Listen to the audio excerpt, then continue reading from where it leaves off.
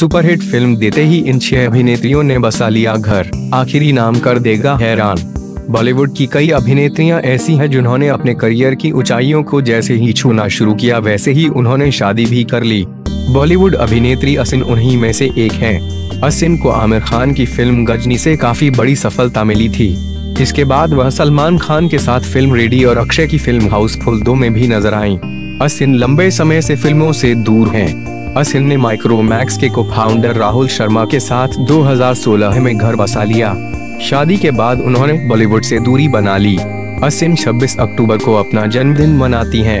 इस मौके पर जानते हैं बॉलीवुड ऐसी अभिनेत्रियों के बारे में जो अपने करियर के पीक में शादी के बंधन में बंध गईं। अभिनेत्री सोनम कपूर ने पिछले साल बॉयफ्रेंड आनंद आहूजा से शादी की है बता दें कि सोनम ने जिस समय शादी की वे अपने करियर के पीक में थी फ़िल्म नीरजा में शानदार किरदार निभाने के लिए सोनम कपूर को नेशनल अवार्ड मिला था। साल 2008 में फ़िल्म रब ने बना दी जोड़ी से अपने फिल्मी करियर की शुरुआत करने वाली अभिनेत्री अनुष्का शर्मा ने कई हिट फ़िल्में दी, जिनमें बैंड बाजा बारात, जब तक है जान और पी के शामिल हैं। वहीं अनुष्का ने अपने प्रोडक्शन हाउस से फ़िल्म एच दस बनाई थी। ऐसे में अनुष्का ने अपने करियर के पीक में भारतीय क्रिकेट टीम के कप्तान विराट कोहली से शादी कर ली। ब्लॉकबस्टर फ़िल्म मैंने प्यार किया से लोगों की नज़रों में आई। खूबसूरत अदाकारा भाग्यश्री ने भी समय रहते अपना जीवन साथी ढूंढ लिया।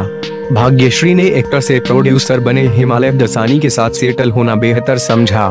सत्तर के दशक में अपनी खूबसूरती से सबको दीवाना बना देने वाली अभिनेत्री नीतू सिंह ने करीब 20 फ़िल्म में बतौर लीड एक्ट्रेस काम किया है। इस दौरान उनको अभिनेता ऋषि कपूर से प्यार भी हो गया। महज इक्कीस साल की उम्र में नीतू ने ऋषि से शादी कर ली। बता दें कि उस समय बॉलीवुड में नीतू की सफलता का डंका बज रहा था।